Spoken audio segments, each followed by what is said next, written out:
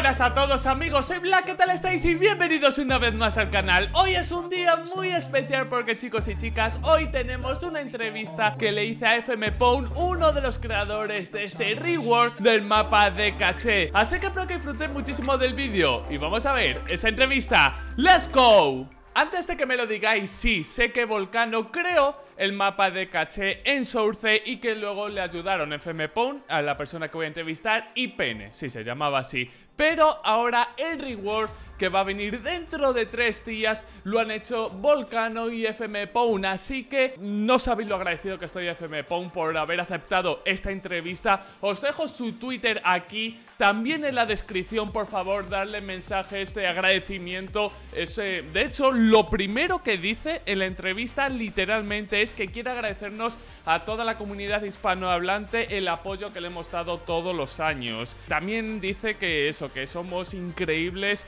y gracias por todo eh, lo que estamos haciendo por la comunidad. Chicos, FM muchísimas, muchísimas gracias por haber aceptado esta entrevista. Vamos con la primera pregunta que dice lo siguiente. ¿Fue vuestra idea de Volcán FM dejar el mapa de caché fuera y hacer el rework o fue una idea de Valve? Y él dice lo siguiente, fue nuestra idea Valve no nos dijo que no, por lo tanto sabíamos que no habría ningún problema. Por lo tanto, esto me sorprende muchísimo, que ha sido eh, de los creadores del mapa la idea de sacarlo fuera. Yo hubiera apostado por Valve, decidme vosotros en los comentarios qué opináis.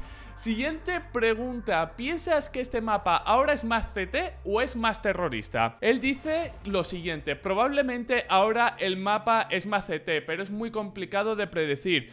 A veces haces cambio asumiendo que los jugadores lo van a enfocar de una manera, pero en Counter-Strike eso es muy difícil de predecir. Y además, a veces eh, cuando cambias algo que beneficia a los CTs, por ejemplo, en una bomba, a veces los CTs pierden el control de esa bomba y por lo tanto los terroristas pueden usarlo en contra de ellos, así que no es difícil de predecir. Él al principio dice que CT, pero a medida que vayamos todos jugando veremos si tiene razón o no. Siguiente pregunta, ¿cuál fue tu inspiración al crear este mapa? Y él ha dicho lo siguiente, me he inspirado en remakes que ha hecho Valve, todos han sido de calidad increíble, especialmente visual. Yo quería hacerlo lo mejor posible y ha sido un reto divertido.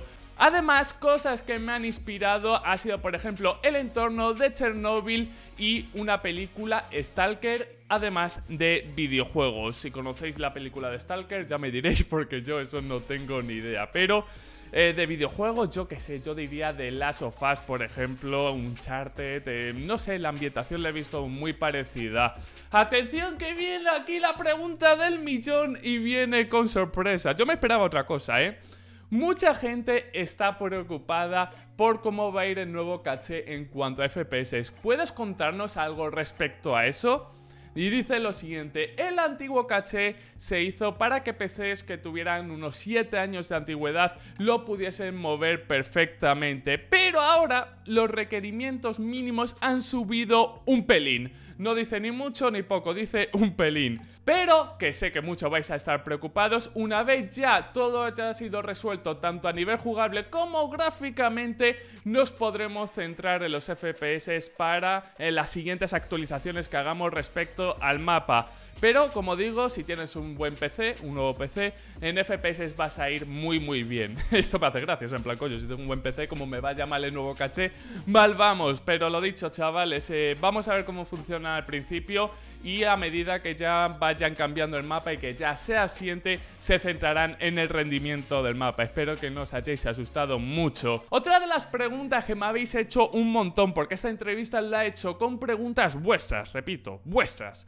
¿Por qué el autobús de medio es tan fácil? ¿Querías hacer una zona más fácil de defender y esa fue la razón? Hay dos razones. La primera de ellas es que los CTs que jugaban agresivos se tenían que esconder en underboost, pero el problema es que desde arriba te podían matar muy fácilmente.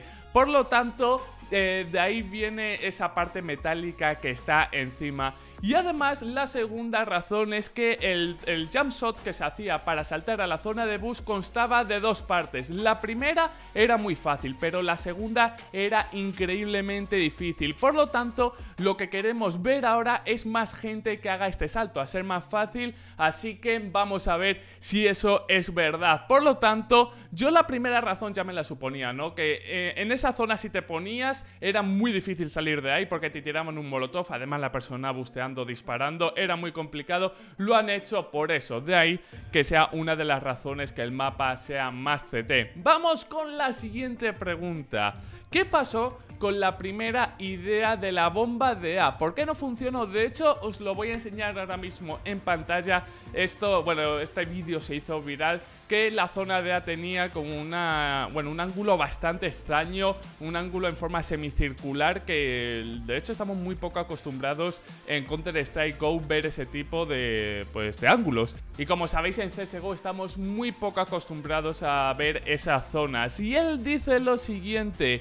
La zona de A eh, ha sufrido muchísimos cambios porque queríamos que cumpliera una meta. La meta era la siguiente, queríamos que los CTs eh, tuvieran eh, más disponibilidad a la hora de lanzar granadas y también tener mejores ángulos. Por lo tanto, la idea curva sí cumplía esas metas, pero no era un ángulo típico, clásico, que estaban acostumbrados los jugadores de Counter-Strike, lo que he dicho anteriormente. Así que por lo tanto han trabajado en algo mejor y es este ángulo que tiene una forma de cuadrado, por lo tanto eh, se han encontrado más cómodos con ello y además cumple las metas que os he dicho anteriormente. Así que fue por eso que quitaron ese ángulo. Espero que es bueno, esta pregunta es buenísima y la verdad que mm, me ha sorprendido porque todo el mundo esperaba, yo creo, esa bomba de A con ese ángulo semicircular, pero bueno, lo han decidido así. Siguiente pregunta.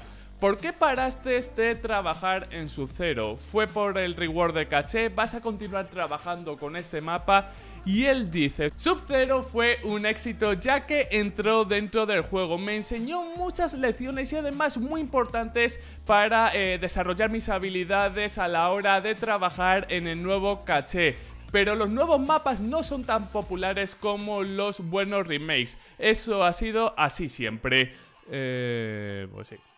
La verdad es que poco que decir, ¿no? Es muy muy difícil meter un nuevo mapa, lo estamos viendo con vértigo, así que por lo tanto aquí poco hay que decir. Nos faltan tres preguntas. ¿Te ha ayudado Valve a la hora de hacer el reward? ¿Cómo es trabajar con ellos? Y aquí ha sido bastante escueto y me ha dicho que ellos no les han ayudado en nada, pero que si tengo alguna pregunta acerca de Valve que se la puedo enviar a ellos y que me pueden responder. Ojalá, os imagináis contacto directo con Valve. Uf.